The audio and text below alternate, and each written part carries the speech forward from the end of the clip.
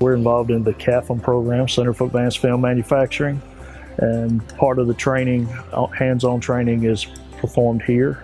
Um, so we're able to train new employees before either before they come in or after they come in um, to learn to run the equipment. It's helped us when we have new employees come in, they have a foundation, so we have something to build off of. They're able to work with safety, quality, and then production equipment. When they come in, they're coming in at a higher level than a person off the street because they have some training before they get there.